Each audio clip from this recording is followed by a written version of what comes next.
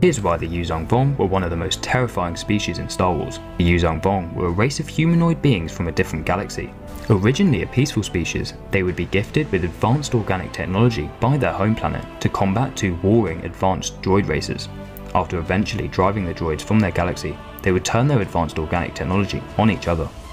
This rendered their galaxy and homeworld uninhabitable and they would be stripped from the Force. They would travel through the void between galaxies on board moon-sized bioships eventually landing in the galaxy far far away during the New Republic era.